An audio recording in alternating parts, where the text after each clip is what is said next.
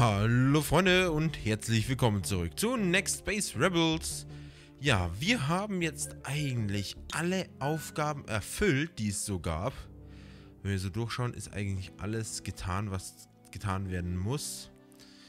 Ähm, und jetzt heißt es nur noch, bringt den Satelliten ins All. Das ist natürlich Aufgabe, die speziell ist und schwer ist. Doch ich denke, wir sind der gewachsen. Wir müssen der gewachsen sein. Und dementsprechend stellen wir jetzt hier mal das Grundsystem her. Als erstes müssen wir mal anfangen, alles so zusammenzusetzen sein muss.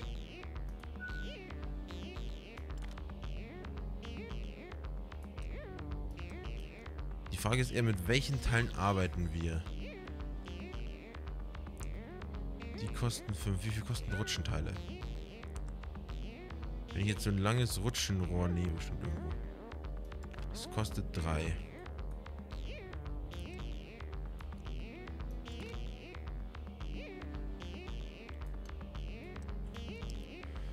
Dann machen wir das so.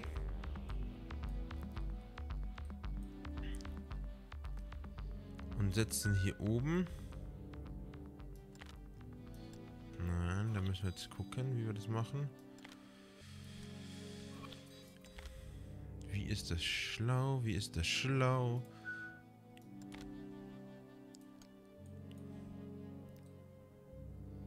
Und dann braucht es natürlich noch ein Triebwerk in der oberen Schicht. So. Und wenn wir jetzt hier einen Sauerstoffinjektor einbauen. Ich muss jetzt natürlich ein bisschen automatisch machen. So. Dann kann ich bestimmt so machen, genau. Und dann muss ich diesen Schalter nur noch hier unten anbringen.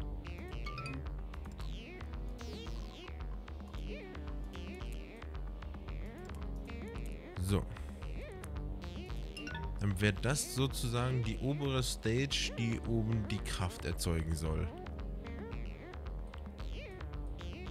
Und das Ganze sozusagen dann noch eine Stufe höher schicken muss. Wir haben natürlich jetzt schon voll die Ex massig Ex äh, Extremität hier verbraucht, was nicht gut ist. Aber was will man machen? Als nächstes muss der Decoupler hier dran. Jetzt versuchen wir, schauen wir, der meckert jetzt schon wieder. Dann schauen wir, das wird, ah, ich muss mal mittig behalten. Da müssten wir jetzt gucken, dass wir sozusagen einfach so machen. Wenn ich jetzt sozusagen hier hier durchführe, dann sollte das passen. Perfekt. Stage machen wir halt dann auf volle Breite. Oder die bringen wir so breit runter.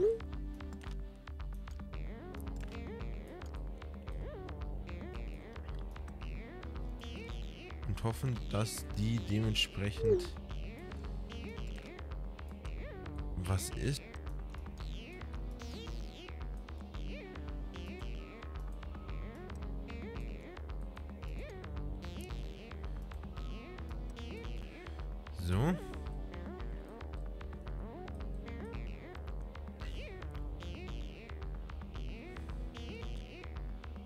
Dann müssen wir unten für die Kinetik das Steuerpult einsetzen in der Mitte.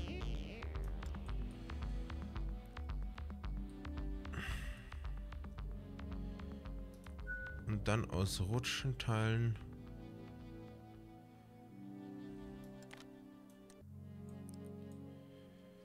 das Düsentriebwerk reinsetzen. Da brauche ich wieder von der Rutsche so kurze Teile.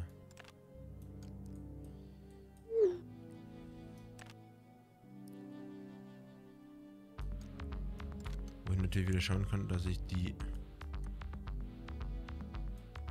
So. Ich scheine jetzt aber irgendwie so das Limit erreicht zu haben von unten. Jetzt schauen wir, dass wir hier das Triebwerk einbauen.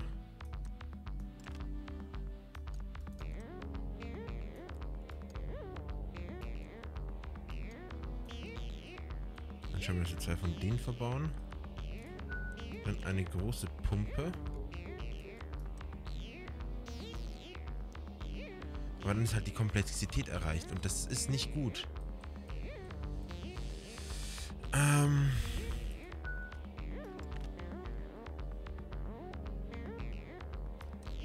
Zwei Sauerstofftanks. Auf jeden Fall mal zwei große. Drauf. Hat das am meisten, aber das haben wir jetzt nicht mehr, mehr genug Power für. Vielleicht doch nur ein Triebwerk.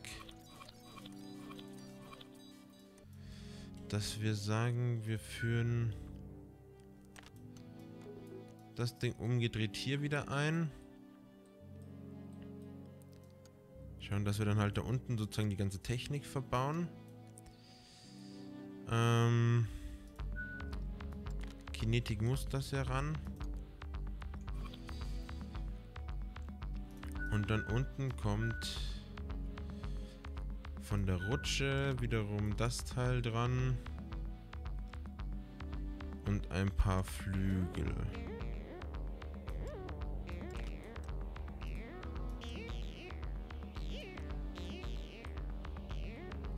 So. Und da kommt dann das Triebwerk rein, weil wir brauchen natürlich trotzdem das Hardcore-Triebwerk. Die Verbindung bleibt auch dieselbe. Aber wenn wir den Treibstoff schauen, sollten wir auf jeden Fall mal den Tank hier haben. Und wenn es geht, zweimal. Das wäre natürlich perfekt. So. Dann schauen wir, was für Pumpe ist jetzt wieder so eine Sache. Wir müssen jetzt erstmal die Verbindungselemente machen, weil wir brauchen hier einen Verbinder. Hier das.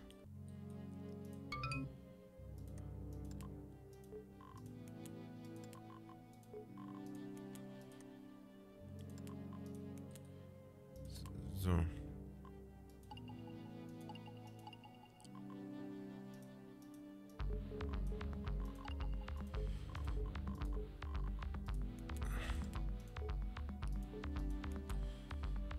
Und dann müssen wir jetzt gucken, wie wir da unten weitermachen, weil wir haben nur die Pumpenmöglichkeit, wie scheint.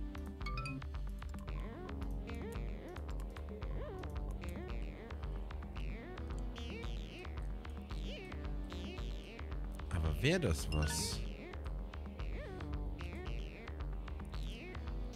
Zu sagen, dass du auf der 2 bist, du auf der 1.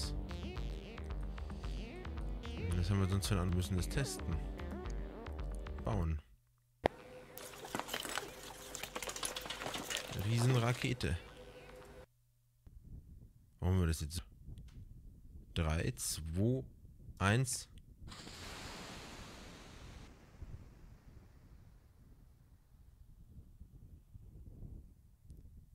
Jetzt haben wir Zoom-mäßig. Das schaut komisch aus.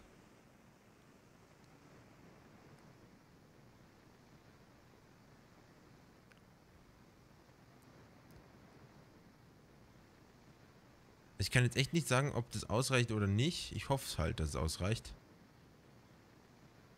Wir haben eine Geschwindigkeit von 7,8 Kilometern pro Sekunde.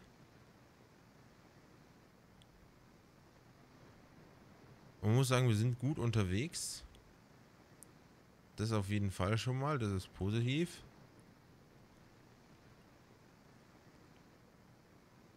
Das Ding brennt durch wie sonst noch was. Schauen wir mal, wie viel wir mit der U mit der U ersten Stufe oder zweiten Stufe ersten Stufe schaffen. Vier Kilometer. Und zwei.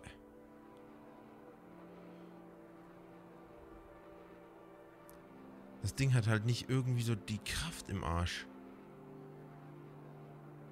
Also wenn ich mir das anschaue, das steigt halt so null.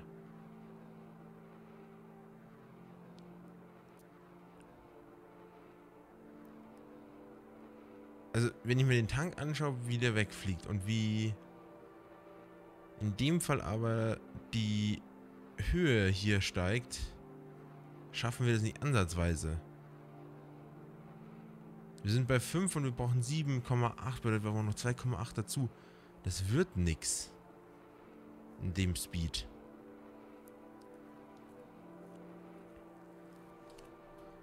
Okay, nee, das können wir zurück zur Konstruktion bringen.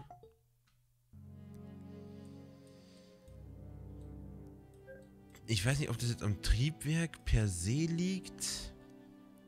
Oder weil keine Pumpe eingebaut ist. Also das können wir erstmal vergessen. Wir können ja mal das glockenförmige Triebwerk probieren, ob das besser ist in dem Fall. Bauen.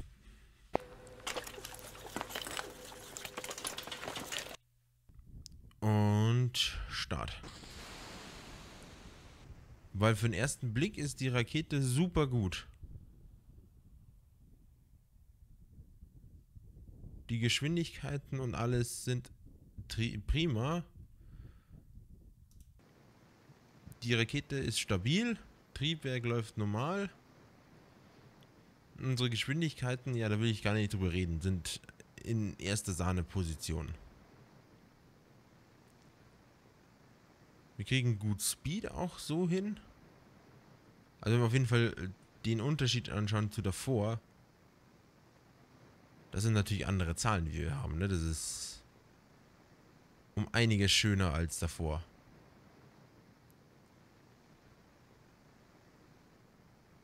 Um einiges schöner. Selbst jetzt noch steigt es schön. Wahnsinn, wie gut es steigt. 4, 4, 1, 4, 2, 4, 3, 4, 4, 1 und 2. Und jetzt versagt die Stufe.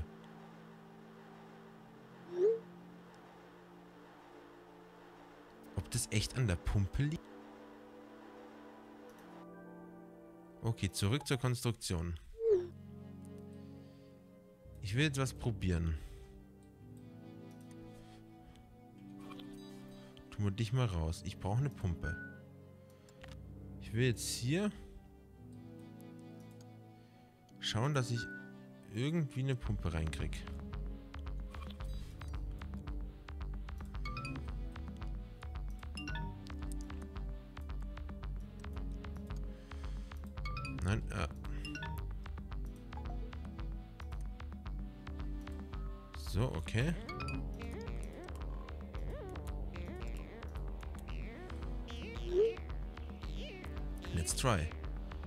Habe die Vermutung, dass die Pumpe das wirklich richten könnte. Und Start. Es gibt leider keinen Vorspulbutton, deswegen müssen wir halt immer wieder von vorne starten. Aber ich habe irgendwie die Vermutung, dass die Pumpe hier ordentlich regelt. Und wenn die Pumpe natürlich ordentlich regeln würde, müssten wir ein bisschen umplanen. Weil die Pumpe ist halt das, was uns sozusagen dann am Ende den Sieg bescheren könnte.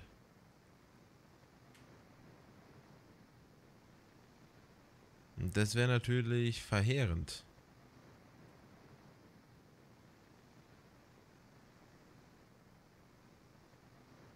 So, wir sind jetzt wieder bei 1,3, 4, 5, 6, 7, 8, 9, 2.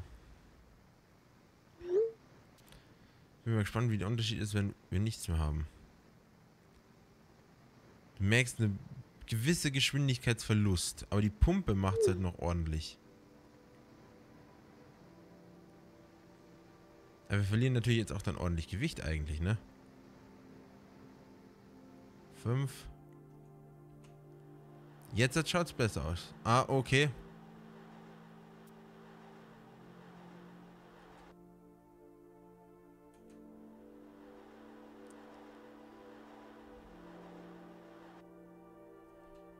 Es hat sich null gebracht. Wahnsinn.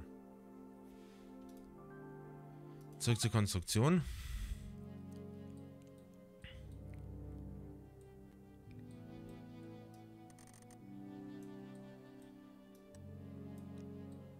Da haben wir es. Das Ding fliegt schief.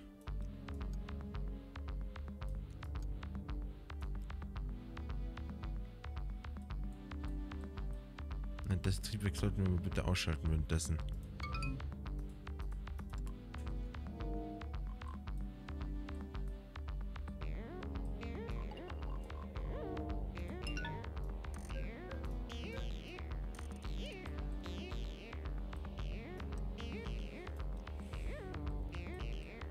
Okay. Jetzt haben wir nicht gesehen, wie wir wirklich fliegen.